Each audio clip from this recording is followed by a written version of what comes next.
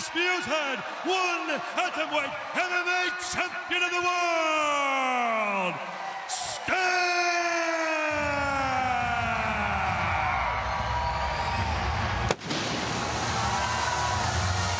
What a moment for Stamp as she embraces the now retired Angela Lee.